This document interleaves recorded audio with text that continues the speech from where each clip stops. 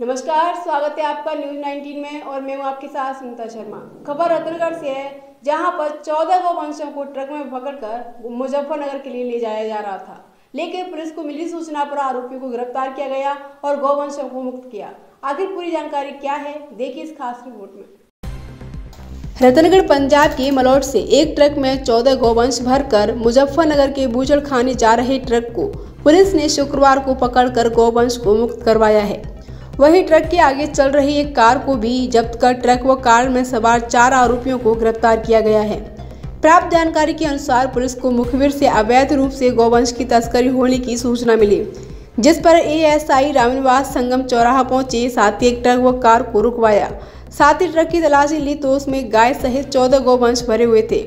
Police ने गौवंश को मुक्त करवा कर पचास वर्षीय ट्रक चालक मुना बत्तीस वर्षीय खलासी फुरखान तथा कार में सवार बत्तीस वर्षीय आँसू एवं बीस वर्षीय चालक अलबख्श को गिरफ़्तार कर लिया।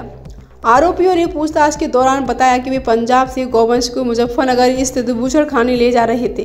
पुलिस ने मुकदमा दर्ज कर जाँच शुरू कर दी है। सूचना हमें मुखबिर की सूचना मिली थी। रात को पूरी रात हम गश्त पे थे, मालासर टोल पे। और सुबह करीबन साढ़े छः सात बजे ये ट्रक हमें आता दिखाई दिया। इस रोकने की कोशिश की तो ये ट्रक भागने लगा। संगम चौराहे से करीबन 500 मीटर आगे एक तेजल ग्रुप भी है। वो और हमारी गोरक्षा दल आज़ाद ग्रुप रतनगढ़ की टीम ने मिलकर इसको रोका है। इसके अंदर तेरह सांड है और एक गाय है, जो पंजाब से महाराष्ट्र के लिए कटने के लिए जा रहे थे।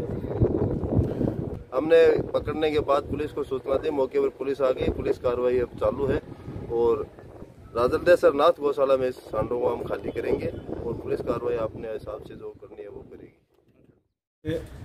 यूपी नमरा का ट्रक था, मैं वहाँ संगम चौराहे गश्त पर था।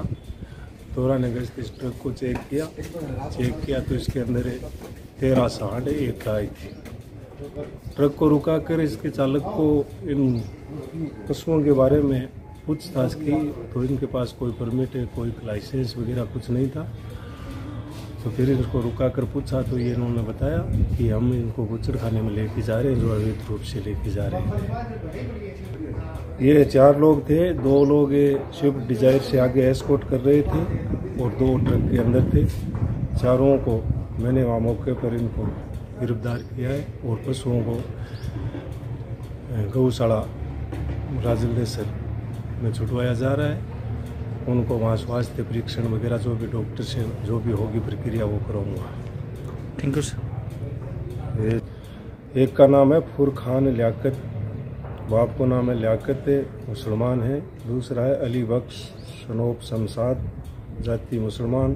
तीसरा है मुन्ना उर्फ़ इकबाल सनोब मोहम्मद बख्श मुसलमान।